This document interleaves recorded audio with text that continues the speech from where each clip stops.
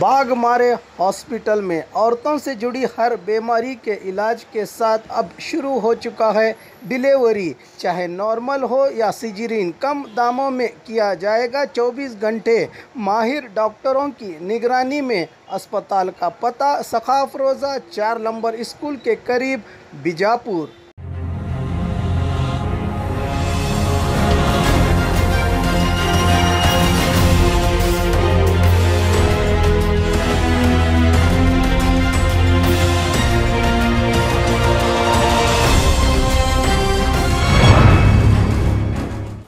आबिद हुसैन शेख, आपका खैर मकदम है। Four TV news Karnataka express में। कर्नाटक का बंद का बेंगलुरु में मिला जुला असर। किसान विरोधी कानूनों को लेकर आज प्रगति पर कार्मिक और रहित संगठनों ने कर्नाटक बंद का आह्वान दे चुके हैं, मगर रोज़मर्रा की तरह ही सारे सरकारी दफ्तर खुले हैं। विधान सौदा और विकास सौदा में काम चल रहा है। एम बिल्डिंग में भी कर्मचारी काम में लगे हैं। यातायात में फ़र्क पड़ा है। दफ्तरों में भी अधिकारियों की संख्या में कमी आई है। शहर में ऑटो, मेट्रो बीएमटीसी बसेस, संचार में कोई फ़र्क नहीं पड़ा।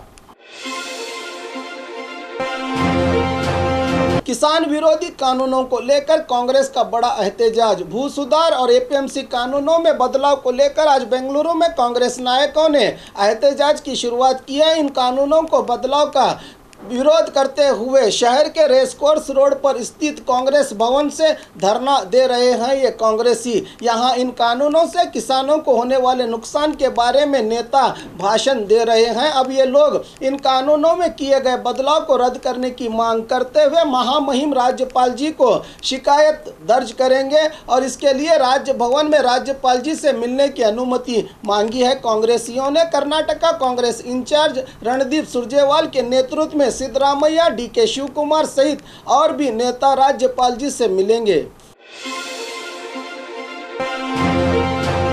सरकार की ओर से किसानों को कोई धोखा नहीं होगा। सीएम येडुरप्पा भू सुधार और एपीएमसी कानूनों में किए गए बदलाव का समर्थन करते हुए आज येडुरप्पा ने मीडिया से बात करते हुए खासकर किसानों से कहा कि इनके इस कानूनों में तब्दीली से किसानों को कोई नुकसान नहीं होगा। नेरावरी ज़मीन को अगर कोई खरीदे तो वहाँ कृषि ही करनी पड़ेगी। एस सी समुदाय वालों की ज़मीन को कोई खरीद नहीं सकता। इन नियमों में कोई खास बदलाव नहीं किया गया है, किसानों को कोई तकलीफ़ नहीं होगी। येडुरप्पा कभी किसानों को नुकसान होने नहीं देंगे। कृषि के लिए मुफीद ना होने वाली ज़मीन पर अगर फैक्ट्रीज बनाने, बनाएँगे तो जनता को रोज़गार मिलेगा, जिससे बेरोज़गारी की समस्या का खात्मा होगा। सिर्फ़ छः महीने आप इंतज़ार करें, इसके फ़ायदे आपको दिखाई देंगे। कोई भी, कहीं भी कृषि के लिए ज़मीन खरीद सकता है। इसको देखते हुए एपीएमसी कानून में बदलाव किया गया है। किसानों को बरगलाया जा रहा है। मैं हाथ जोड़कर किसानों से निवेदन करता हूँ कि आपके हित के लिए ही मैं ये काम कर रहा हूँ, कहा सीएम ने। कृषि कानूनों में बदलाव के खिलाफ करवे का एहतजाज। केंद्र और राज्य सरकार की किसान विरोधी कानूनों को लेकर आज बेंगलुरु में किसान संगठन सहित कई संगठन सरकार के खिलाफ कर्नाटक बंद करके प्रदर्शन कर रहे हैं। इसी के चलते कर्नाटक रक्षण वेदिके के सदस्यों ने भी बेंगलुरु में प्रदर्शन किया। करवे अध्यक्ष श्रीरामे गौड़ा के नेतृत्व में मल्लेश्वरम के कोयम्पू मूर्ति के पास केंद्र और राज्य सरकार के खिलाफ नारे लगाते हुए अपनी नाराज़ नाराज़गी और विरोध का प्रदर्शन किया। इस मौके पर यहाँ पहुँचे उत्तर विभाग डीसीपी धर्मेंद्र कुमार मीना और निशा जेम्स ने प्रदर्शनकारियों से बातचीत की। जब इनकी बातों से प्रदर्शनकारी ना माने तो इनको पुलिस ने हिरासत में लिया। कांग्रेस ने किसानों को ज़मीन दी है, छीनी नहीं। डी के शिव कुमार आज बेंगलुरु के रेस कोर्स रोड पर स्थित कांग्रेस भवन में किसान विरोधी कानूनों में किए गए बदलाव को लेकर आयोजित किए गए कार्यक्रम में बात करते हुए केपीसीसी अध्यक्ष डी के शिव कुमार ने कहा कि केंद्र और राज्य सरकार ने किसानों के हित में काम नहीं किया। कांग्रेस ने किसानों को ज़मीन दी है, मगर अब बीजेपी किसानों से ज़मीन छीनने का काम कर रही है। सिद्धरामैया की सरकार ने के हित की रक्षा की थी। कागोड़, तिम्मप्पा जब सचिव थे तो कानून बदलकर किसानों की मदद की गई थी। किसानों को मदद करना ही कांग्रेस का इतिहास है और किसानों से ज़मीन छीनने का बीजेपी का इतिहास है। आज बहुत सारे युवक शहरों को छोड़कर अपने अपने गाँव जाकर खेती बाड़ी का काम करके अपनी ज़िंदगी को संवारने में लगे हैं, मगर बीजेपी इन जिंदगियों को उजाड़ने का काम कर रही है। राज्य के 60 विधायक और 30 एमएलसी सरकार को बर्खास्त नहीं करेंगे, बल्कि सरकार को किसान ही उकाड़ फेंकेंगे। येडुरप्पा की सरकार ने अब तक किसानों के लिए कुछ भी नहीं किया। कोविड के समय में हमने किसानों से कई करोड़ों की फ़सल खरीदी थी बताया डी के शिव कुमार ने। सरकार का नाम बदनाम करने की साजिश नाकाम हुई है। रवि कुमार, आज बेंगलुरु के सीएम निवास कावेरी के पास मीडिया से बात करते हुए बीजेपी के चीफ सेक्रेटरी रवि कुमार ने मीडिया से कहा कि किसान के बच्चे डॉक्टर, इंजीनियर और इंजीनियर के बच्चे चाहें तो किसान बनने का मौका इस भू सुधार कानून में दिया गया है। ये कानून किसानों की मदद करता है। कर्नाटक बंद करना ठीक नहीं। इन कानूनों में बदलाव से किसानों को बड़ा फ़ायदा होगा, किसान नुकसान बिल्कुल नहीं होगा। अगर किसानों को फ़ायदा हो रहा है तो फिर विरोध किस लिए? बीजेपी सरकार को बदनाम करने के लिए यह षड्यंत्र रचा गया है। कम्युनिस्टों की कोई काम ही नहीं है। कार्मिक और सनतकारी को किस तरह उठाना चाहिए, इसकी ओर भी देखना ज़रूरी है। सारे राज्य में बंद नाकाम हुआ है, बताया रवि कुमार ने। विधानसभा का विसर्जन करके चुनाव का सामना करें। सिद्धरामैया का सरकार को सवाल बी एस येडियुरप्पा की सरकार को कोई नैतिकता नहीं है कि सरकार चलाएँ। एपीएमसी और भू सुधार कानूनों में बदलाव से किसानों का भला नहीं होगा। इसी बात को जनता के सामने रखकर येडियुरप्पा को चाहिए कि विधानसभा का विसर्जन करके चुनाव का सामना करें। प्रेस रिलीज़ जारी करते हुए विरोध पक्ष नायक सिद्धरामैया ने कहा कि कोविड नाइन्टीन में कमज़ोर हुए किसान खामोश रहेंगे, ये समझते हुए केंद्र और राज्य सरकार ने जल्दबाजी में इन कानूनों को जारी किया है, मगर किसान अपनी जान को दाव पर लगाकर इन कानूनों के खिलाफ में खड़े हैं। बात बात पर खुद को किसानों का नायक कहने वाले येडुरप्पा ने बीजेपी के केसरी शाल उठाकर किसानों की हरी शाल ओढ़कर हलफ लिया था। अब अंदर की केसरी शाल बाहर आई है। सीएम येडुरप्पा ने इससे पहले हावेरी में खाद मांगने वाले किसानों पर गोलियाँ चलाई थी। अब पूरे किसान समुदाय को ही मिटाने पर तुली है। ये सरकार किसानों की बददुआ इन्हें ज़रूर लगेगी। बीजेपी हमेशा से ही रहित विरोधी सरकार है। यह सिर्फ़ कारपोरेट कंपनियों की मदद करती है। इनके डीएनए में ही किसान विरोधी जहर भरा गया है, बताया सिद्धरामैया ने। सरूर हालू मत गुरुपीठ के स्वामी जी हुए कोविड का शिकार। बीजापुर जिला मुद्दे बिहार तालुका के सरूर ग्राम के रेवन सिद्धेश्वर हालू मत गुरुपीठ के मेलिन मठ गुरु मरुल सिद्धैया पुजारी का कोविड वायरस से निधन हुआ है। ये पिछले 28 दिनों से बीजापुर के एक प्राइवेट अस्पताल में इलाज करवा रहे थे, मगर इलाज कारगर न हुआ। स्वामी जी निवृत्त सैनिक थे। चवन भावी ग्राम में इन्होंने रेवन सिद्धेश्वर विद्यापीठ की स्थापना करके गरीब बच्चों को शिक्षा दे रहे थे। चवन भावी स्कूल के कंपाउंड में आज इनका अंतिम संस्कार किया गया। नैनो प्लास्टिक शीट से कोविड वायरस का खात्मा। युवकों का आविष्कार। कोविड वायरस से सारी दुनिया परेशान है। दिन ब दिन इससे पीड़ित होकर मरने वालों की तादाद में इजाफा होता जा रहा है। अब तक भी किसी दवा या टीका इसके लिए नहीं बना है। इसको ध्यान में रखते हुए शिमुगा के युवकों ने नैनो टेक्निक का इस्तेमाल करके इस जानलेवा वायरस को मारने वाला एक प्लास्टिक शीट का ईजाद किया है। अगर इस शीट पर वायरस गिरे तो करीब तीन घंटे में मर जाता है। यह प्लास्टिक शीट अस्पताल, घर सहित सभी जगहों पर इस्तेमाल किया जा सकता है। शिमुगा के माचिन हल्ली के आई प्रदेश में Balaji, polypack and nano technology private limited ने इस कोविड गार्ड प्लास्टिक शीट को तैयार कर रहे हैं। ये शीट 70 माइक्रोन से थोड़ा मोटी है। इससे पीपीई किट, बेड कवर, तकिया और करंट बनाया जा सकता है। इस कंपनी के मालिक विनय और कंपनी के पार्टनर मोहम्मद अदनान ने डॉक्टर से चर्चा करके इसका एजाज किया है। लॉकडाउन की अवधि में इसका प्रयोग किया गया है। ये प्लास्टिक शीट वायरस पर स्थित प्रोटीन का खात्मा करता है, जिससे वायरस मरता है। इससे फैलने का डर नहीं रहता। बहुत जल्द ये मार्केट में आएगा।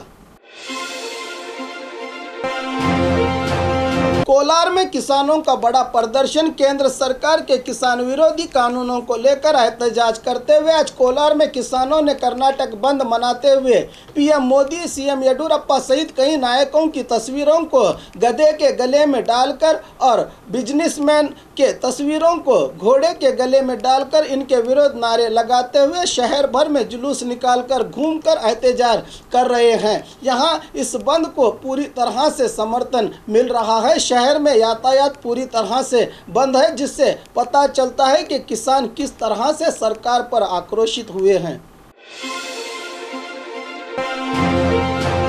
अनलॉक फाइव सिनेमा थिएटर और प्रवास उद्यम को मिल सकती है छूट। सितंबर 30 को अनलॉक फोर खत्म होगा, जिसमें होटल, रेस्टोरेंट सहित बहुत से व्यापारों को छूट दी गई थी। मगर अब भी सिनेमा थिएटर, जिम वगैरह पर पाबंदी जारी है। अक्टूबर एक से अनलॉक फाइव जारी किया जाएगा। इसमें पीएम सात राज्य, कर्नाटक, आंध्र प्रदेश, उत्तर प्रदेश, तमिलनाडु, पंजाब, दिल्ली और महाराष्ट्र राज्यों के मुख्यमंत्रियों के साथ चर्चा करके अनलॉक फाइव जारी करेंगे, बताया जा रहा है कि इस मौके पर सिनेमा हॉल, टूरिज़्म, स्पोर्ट और घूमने फिरने की अनुमति, कॉलेजेस और यूनिवर्सिटीज़ को खोलने की अनुमति दी जाएगी। अब आगरा के ताजमहल सहित देश के कई ऐतिहासिक इमारतों को देखने के लिए पहले ही अनुमति दी गई है। कर्नाटका बंद, गधे पर आए वाटाल नागराज। किसान विरोधी कानूनों को लेकर आज बेंगलुरु में केंद्र और राज्य सरकार के खिलाफ एहतजाज चल रहा है। इसी के चलते आज बेंगलुरु में कन्नड़ पक्ष के संस्थापक वाटाल नागराज महाराजा की तरह कपड़े धारण करके गधे पर सवारी करते हुए कैंपेगौड़ा बस स्टैंड के पास पहुंचकर अनोखे तरीके से एहतजाज किया। इसमें कन्नड़ संगठनों के कई सदस्य भी भागी रहे। किसान संगठनों की ओर से पीएम और सीएम की शव यात्रा, रहित विरोधी कानूनों को जारी करने पर आक्रोश जताते हुए आज बेलगाम में भी कई रहित संगठनों ने सरकार के खिलाफ आक्रोश जताते हुए एहतजाज किया। शहर के चन्नम्मा सर्कल से स्वर्ण सौदा तक किसान मुखंडों ने एहतजाजी जुलूस निकाला। इसमें पीएम और सीएम की शव यात्रा निकाली गई। ये यात्रा पुनः, बेंगलुरु एनएच पर पहुँची तो पुलिस ने प्रदर्शनकारियों को तितर बितर करके हिरासत में लिया है। गुलबर्गा शहर में किसान विरोधी कानून पर विरोध प्रदर्शन। गुलबर्गा शहर में किसान संघर्ष समिति और दलित ऐक्य होराट समिति और कई संगठनों के सहयोग से शहर के जगत सर्कल में ट्रैक्टर के ज़रिए हज़ारों की संख्या में किसान बिल के विरोध में कई प्रगति पर संगठनों के कार्यकर्ता नारे लगाते हुए दिखे। इस मौके पर किसान संघ के अध्यक्ष मारुति मांगवाड़े का कहना है कि केंद्र और राज्य की सरकार कारपोरेट कंपनियों के लिए लिए काम कर रही है। इस कानून से मध्यम और कुली कार्मिकों को बड़ा नुकसान हो सकता है और मोदी जी कहते हैं कि पाकिस्तान और अफ़गानिस्तान के हिंदुओं को देश वापस लाकर उनका भला किया जाएगा। पहले देश के किसानों का भला करो, तभी देश अभिवृद्धि होगा, कहा किसान मुखंड ने।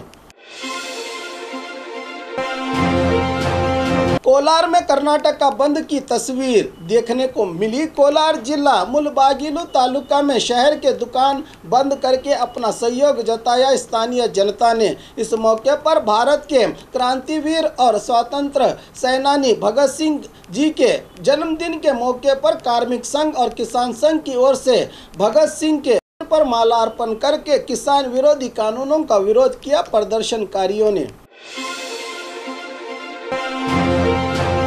सीएम येडुरप्पा के परिवार पर भ्रष्टाचार का आरोप। पिछले दिनों सीएम येडुरप्पा के बेटे बीवाई विजेंद्र के खिलाफ प्रेस मीट करके कांग्रेस ने भ्रष्टाचार का आरोप लगाते हुए कहा था कि इनके पास सबूत के तौर पर सीडी मौजूद है और दूसरी तरफ़ बीडीए बेंगलुरु अभिवृद्धि प्राधिकार के तरफ़ से निर्माण किए जा रहे सरकारी इमारत के लिए विजेंद्र ने एक प्राइवेट कंपनी से रिश्वत लिए जाने के आरोप भी लगा है। इसी को देखते हुए जनाधिकार संघर्ष परिषद की ओर से सीएम के बेटे के खिलाफ डीजी यानी डायरेक्टर जनरल ऑफ़ पुलिस से शिकायत दर्ज की है। इस शिकायत में बताया गया है कि रामलिंगम कंस्ट्रक्शन कंपनी से बी वाई विजेंद्र को नगद और आरटीजीएस से रुपयों का ट्रांसफ़र हुआ है। इसी आरोप के मद्देनजर आईपीसी सेक्शन के तहत कार्रवाई करने की बात इस लेटर में कही गई थी। पिछले दिनों कर्नाटका विधानसभा में इसी की निंदा करते हुए विरोध पक्ष के नायक सिद्धरामैया ने भी सवाल उठाए थे, जिसका जवाब देते हुए सीएम येडुरप्पा ने कहा था कि अगर विजेंद्र पर आरोप साबित होता है तो मैं राजनीति से इस्तीफा दे दूँगा। इस आरोप के मुद्दे को एक निजी चैनल ने पत्रकारिता की ज़िम्मेदारी निभाते हुए दिखाया था। इनका कहना था कि इनके पास भी विजेंद्र के खिलाफ सारे सबूत मौजूद हैं, फिर भी कार्रवाई नहीं की जा रही, ऐसा चैनल का कहना था।